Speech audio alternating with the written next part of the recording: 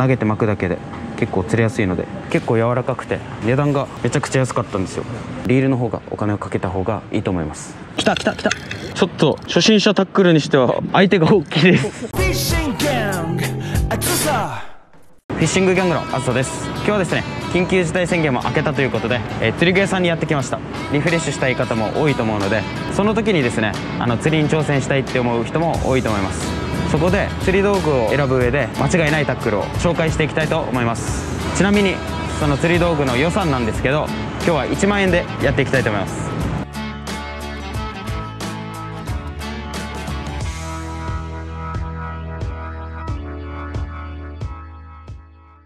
まず入ってくるとですね大体こういうなんか入り口付近に手頃な価格の釣り竿とかが置かれてます。釣り竿とリールがまあセットになってるものも置かれてるんですけど12回使うにはこの辺でも大丈夫なんですけど長く使いたいんであればやっぱり少しいいやつを買った方がいいので、えー今回はここをスルーします、はい、行きましょう、えーご覧ください。ここですね。まあ、結構安い価格帯の竿があります。例えばまあこれとかま3000円ですね。3000円の竿があったり6000円とか8000円とか1万円以下の竿が結構あります。でそこでですね、まあ、数字とか英語とかいろいろ書かれてるんですけど僕的におすすめなのが、まあ、6フィートから7フィートっていう長さですね。ここを見てもらったら分かると思うんですけどだいたい今66とか、えー73とかこういう感じで書かれてるんですよね。これが基本的に長さの表記になります。でこの数字が大きくなればなるほど竿は長いですね、なので僕が今日おすすめしてる、まあ、6フィートから7フィートの間っていうのは6とか7っていう、まあ、数字があれば間違いないと思います。でその後ろにあるこの英語ですね。これが硬さの表記になります。僕がおすすめなのは L ですね。L が入ってる硬さ。これがおすすめです。で例えば L だけだとこれライトっていう表記なんですよね。ライトが比較的に少し柔らかめと思ってください。これの場合はこういう感じで。ML となっているのでこれは medium light の略で L より少し硬いです。少し強くなります。で逆にこのライトよりもう少し柔らかいってなると ultra light といってこっちが UL っていう表記になります。まあ僕的なおすすめなのはこの L とか ML とか UL この3つの中から選んでもらえば間違いないと思います。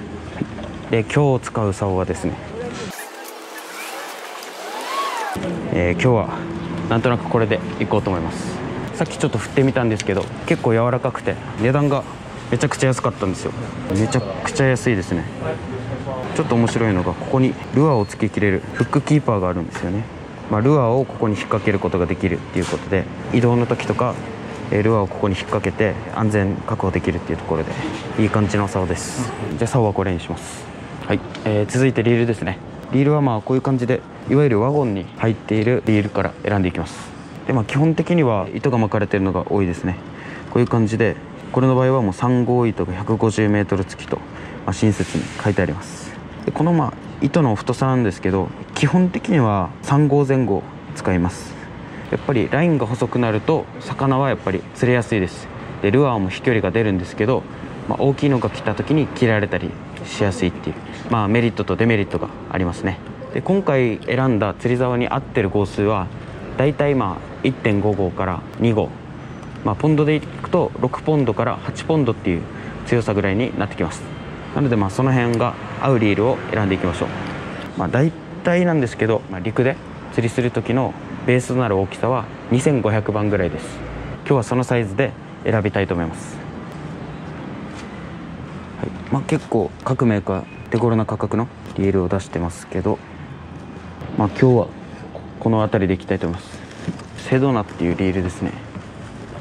で結構ですねあの竿に比べると少し値段高いじゃないですか。竿が3000円ぐらいだったと思うんですけど、えリールがまあ6000円と約倍ぐらいかかってます。で僕の考えなんですけど普通に釣りしててガタが来やすいのっていうのはやっぱリールなんですよね。こう巻きが重くなったりとか投げる時にやっぱ糸が絡まったりするのもリールが原因なので竿かリールどっちにお金をかけるべきかというとあのリールの方がお金をかけた方がいいと思います。なので1万円という範囲の中でまあ6000円をこのリールにかけます、はい、でサイズですね。ま2500番っていうサイズは結構短い竿でも使えるし例えばイカ釣りしたいなと思って8フィートとかまあ9フィートぐらいの長い竿に取り付けてもバランスがいいので迷ったらまあ2500番サイズを選ぶといいと思います。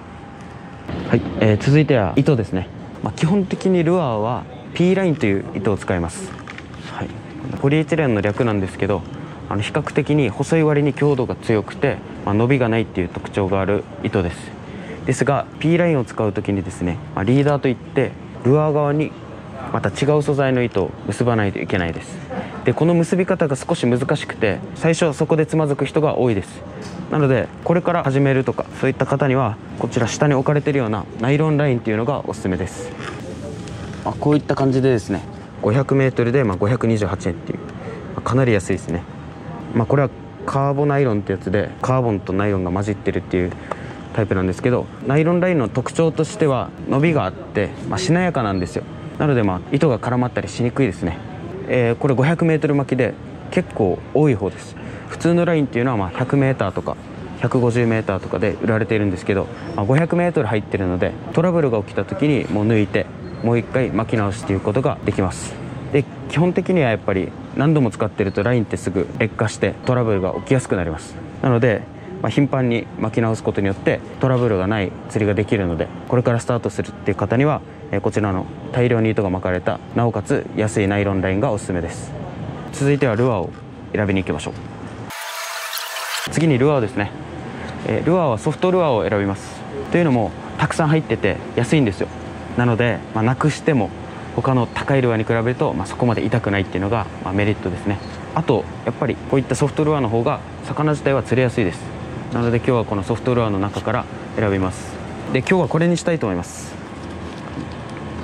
グラスミローの S サイズのクリアカラーこれにします、まあ、なぜかというとですねソフトルアーのタイプなんですけど魚に似せたシャットテールっていう種類です、まあこれが投げて巻くだけで結構釣れやすいのでおすすめです。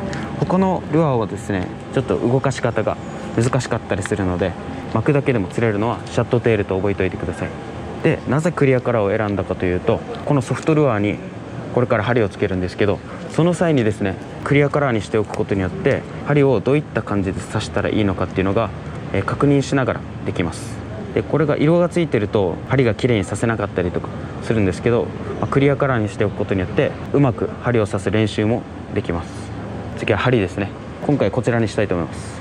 クロスヘッドの 3g やつですね、まあ、大体重さがですね竿に合わせてるんですけどこのジグヘッドですねやっぱり軽くなればなるほど魚の食いは割と良くなります。なので軽めを選ぶんですけど今度軽すぎると飛距離が出ないのでそのバランスを見た時にちょうど 3g ぐらいが一番扱いやすいです。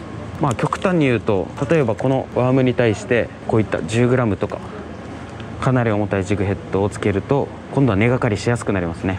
なのでバランスが大事です。でそういったバランスっていうのはあのこういったショップに来ると店員さんが説明してくれるのであの分からなくなったら聞いてください。それではですねこちらのまあルアーと糸と先ほど選んだ竿とリールこれを購入したいと思います。合計ですね。はい。ご覧ください。9886円。ギリギリ。ギリギリクリアしました。OK ですじゃあちょっと糸巻きお願いしていいですか？はい。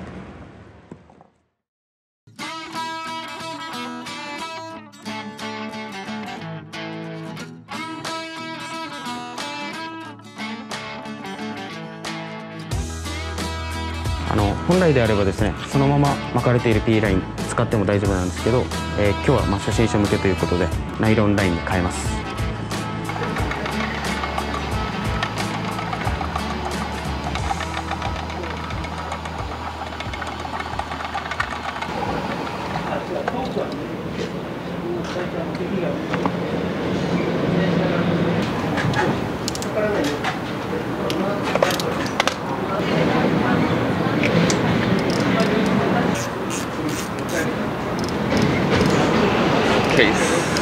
はい受け取りました。じゃ早速行きましょう。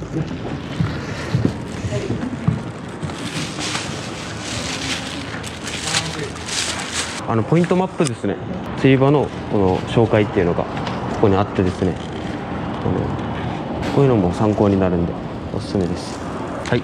えー今道具を買って次にですね、まあ、釣り場に向かうんですけど最初ポイントがわからない人がやっぱり多いと思います。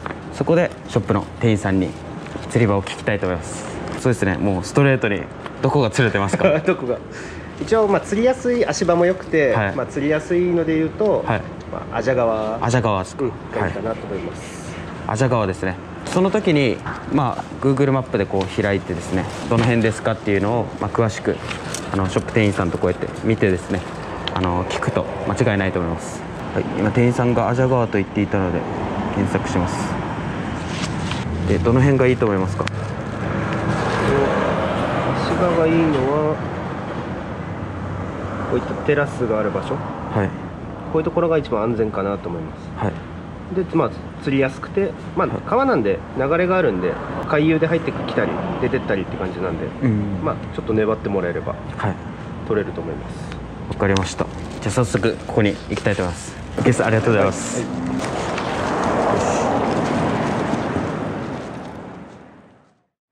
はい、えーそういえばですねあのルアーを入れるケースとかプライヤーとか買ってなかったので100円均一で揃えたいと思います。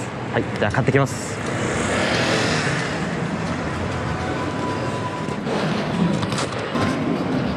はい、えー買ってきました。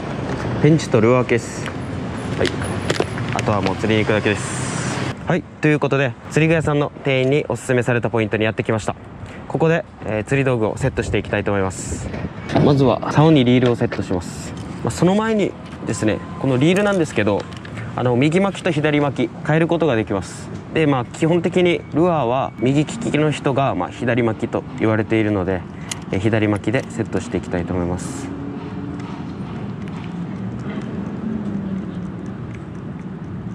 まあやりやすい方でいいです。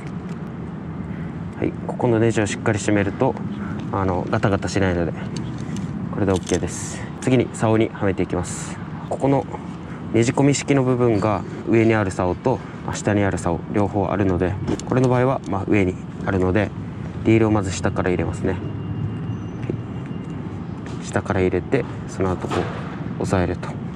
でねじ込んでいくっていう感じですね。これで OK です。次に、えー釣り竿をセットしていきます。釣り竿をセットする時なんですけどこのガイドですね。糸が通るこのガイド。これを見ながら調節します。見る時はですねこういう感じで見て例えばこれがまあ悪い例ですね。ここの中から覗いてみた時に円が並んでないとダメなんですけどこれの場合だともうこの円が右にずれてるじゃないですか。こうなるとトラブルが起きる原因になるのでしっかり合わせてあげるっていうのが大事です。でここのつなぎ目なんですけどゆるゆるで詰め込むと竿が折れたりする原因になるのでしっかり詰め込みます。これで準備 OK です。次に糸を通します。ガイドに通していきます。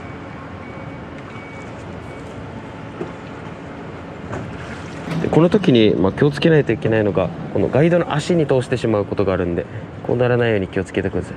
こうなると糸が傷ついて切れやすくなったりするので、しっかりこの黒いガイドの中を通るようにしてください、えー次にルアーを結んでいきます、えー先ほど買ったジグヘッドですね。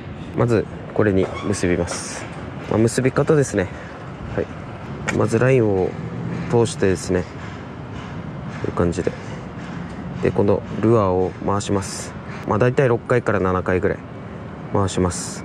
でこのラインの先を、えー一番下の輪っかここに通します。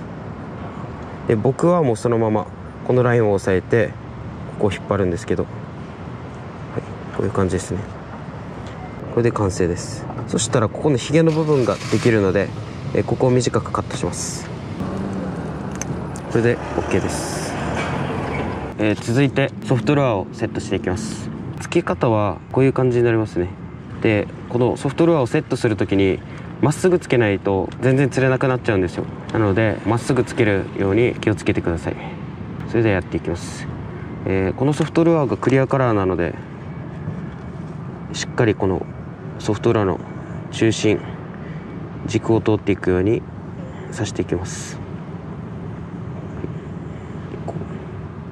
そしてある程度来たら抜いてあげてこういう感じでまっすぐ刺します。で悪い例がこういう感じになったりとか逆に抜くのが早すぎると、まあ、こういう感じでちょっと曲がったりするんですよね。そうならないようにしっかりまっすぐ刺してください。上から見た時もこう右にこうずれてたりとか左にずれてたりとかしちゃうと釣れません。これで OK です。そしてもう一つですね。あとこのドラグ設定というのがあります。竿とかまあリールに負荷がかかった時に、まあ、糸がこう出ていく仕組みですね。この力加減っていうのをここのつまみで調節できるんですけどこれが例えばまきつすぎると糸が出なくて大きいのかかった時とかに、まあ、糸が切れたりとか竿が折れたりとかそういうことにつながります。で逆にこう緩すぎると根がかりした時とかもこうやってずっとこういう感じでずっと巻いていて釣りにならないので、まあ、大体こうリールをぶら下げた時にちょっと出るかなぐらいで調節しておけば大丈夫だと思います。大体こんな感じで調節すればいいと思います、はい。はい、じゃあやっていきます。投げ方なんですけど竿先からルアーに対してのこの長さのことをたらしっていうんですけどたらしの長さは3 0センチぐらい。またルアーの重みとか竿の硬さとかでたらしの長さっていうのはまあ変わってくるんですけど、まあ、大体これぐらいでやれば間違いないと思います。して投げます。投げる時はもうこう後ろに振りかぶって投げるんですけどこの時後ろのルアーがこうブラブラしてると安定しないんですよね。こういう感じで。なので後ろのルアーがこう落ち着くまで待って落ち着いたタイミングで投げます。っていう感じですね。そしてまあ投げる時なんですけど周りに人がいないかとか車が走ってないかっていうのを確認しながらやります。はい投げます。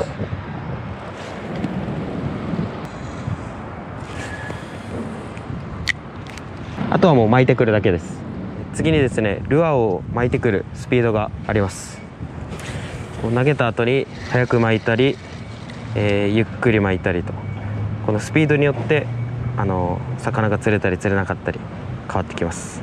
基本的には水深が深い場所とか下の方を探りたい時はゆっくり巻きます。で水深が浅い場所とか泳ぐスピードが速い魚を狙う時は早く巻きます。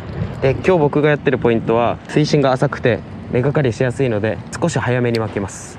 巻くスピードなんですけどやっぱりこの使ってるルアーが重たいと沈むのが早いので早く巻かないと根がかりするし逆に言えば水深が浅くても軽いルアーであればゆっくり巻くこともできます。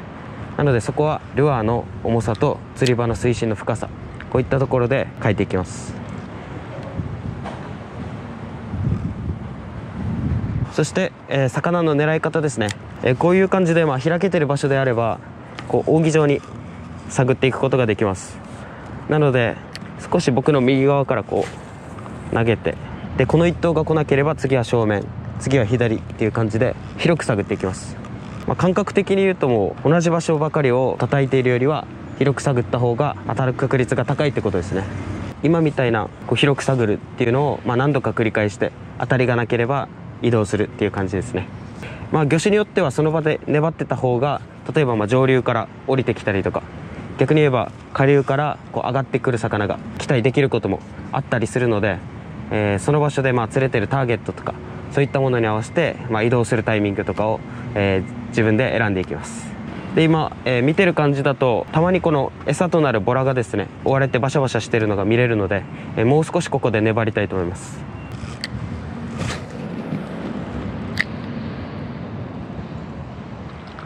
おおおおメッキメッキボイルした。あくそ。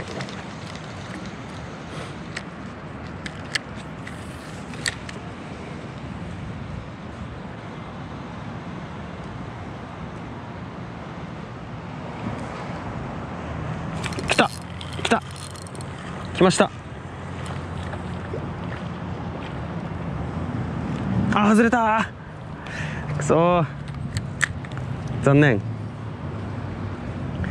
でこの魚が外れた後にですねこのワームとかずれたりするので、えこういったところに注意して直してあげます。ちょっと外れたからすぐに投げたくなるんですけどこの冷静さが次につながったりします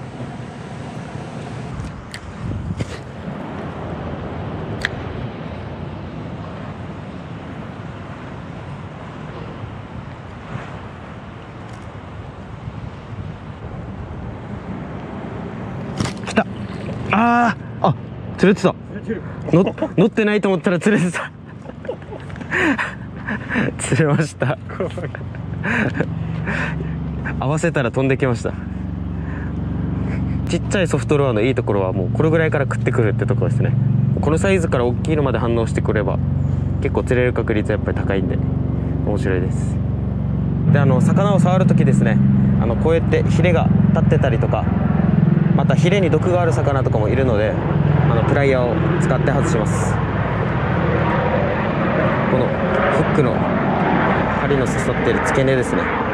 ここを掴んで返してあげます。じゃあリリースします。OK まあ魚種はですね今みたいにこのヤマトビが来たりとか、まあ、ガーラが来たりとかいろんな魚が食ってくるソフトルアなので面白いですよ。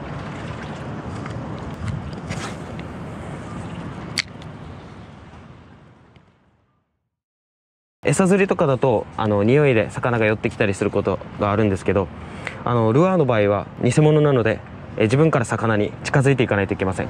なのでえ今当たりがなくなってきてる状況なので移動して足で稼ぎたいと思います。じゃあ移動しましょう。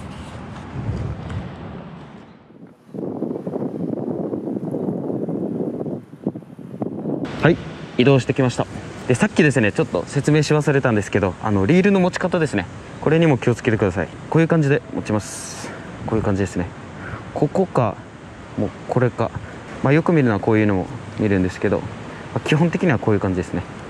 こういう感じで持って人差し指でまあ糸を掴むと。でこういう開ける状態。で投げる時に人差し指パッて離して放出するっていう感じですね。これがまあ基本の持ち方です。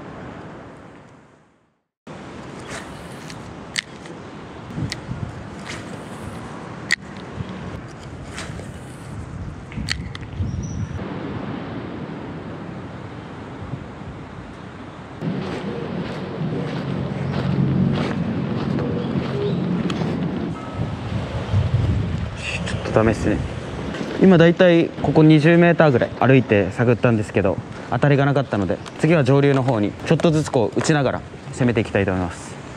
意外とこの 5m の幅で釣れたりとか釣果が変わったりするのでこういった小移動も釣果につながる秘訣ですね。おいる。これはいるっぽい。あー逃げた。くそドンピシャで当てすぎた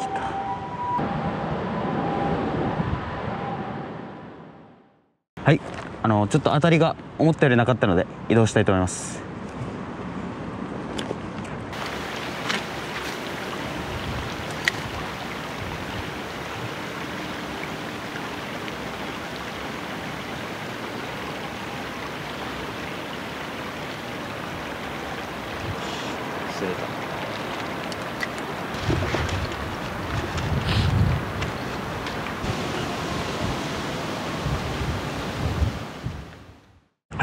移動した先であまり当たりがなくてですね。ここが一番やっぱ反応がいいなってことで、はい、戻ってきました。まあ潮位も少し変わっててですね。さっきより2 0センチぐらい潮位が上がってます。ということであの揚げ潮なので海の方から新しい魚たちが入ってきます。なので引き続きちょっと投げてみます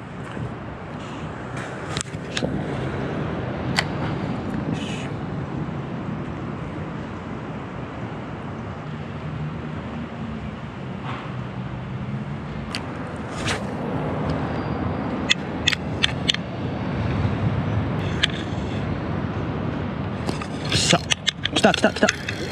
ししかもちょっといいサイズ。ちょっといいサイズ。ちょっといいサイズ。なんだこれは。ちょっとでかい。もしかしてミーバイか。おこっちだ。来ました。ちょっと初心者タックルにしては相手が大きいです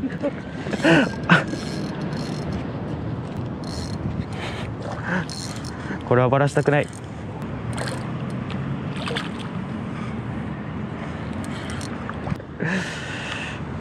ょっと待ってこれ抜き上げたいよあ怖いっすね。でフィッシュグリップで掴もうとしてバラしたりもするからな。あいやばいやばい。やばいやばいやばいやばい。勘弁してくれ。勘弁してくれ。勘弁してくれ。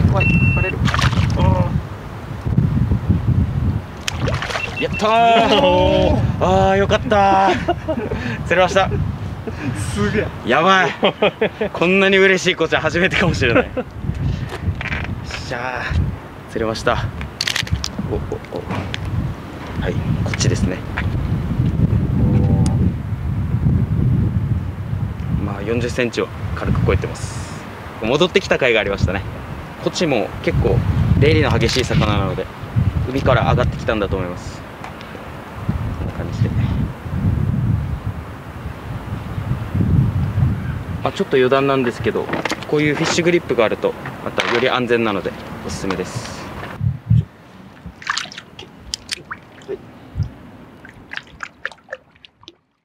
はい。ということで、えー今回はですね1万円以下のタックルで、えー実証してみたところ、えーなんとか釣ることができました。今回のようにですねこういったソフトルアーですねを使うことによって、まあ、低価格のルアーでなおかつ球数が多いのでロストした時のやっぱりリスクも低いというところで、えー上達が早くなるんではないかと思います。本来であればルアーを扱う際ですねこうアクションを入れたりして誘いをかけるんですけど、まあ今回そういったテクニックっていうところはなくてですね投げたらただ巻くだけっていうところで特別なことはしてません。なのでやっぱりこの釣りを始める時にちょっと難しそうだなってイメージが多いと思うんですけどあの実際投げて巻くだけでも今日のように移動することによって超過は生み出すことができるので、はい、難しく考える必要はないかと思います、えー今回ですねこのラインなんですけどナイロンを使用しました。ですが今のルアーフィッシングの主流は P ラインとなってます。でその P ラインのメリットはですね細くて強いっていうところなので、えーよりラインを細くすることによって飛距離も期待できるしなおかつパワーも強いので大物を狙えたりもします。上達してきたら P ラインに巻き替えてやってみるとより大型が狙えたりと視野が広がると思います。でそちらの P ラインを扱う際に結束が必要なんですけどその動画も過去にアップしてるのでよかったらそちらの方も見てみてください。ということで今回はこれから釣りを始める際間違いない動画選びでした。今回もご視聴ありがとうございました。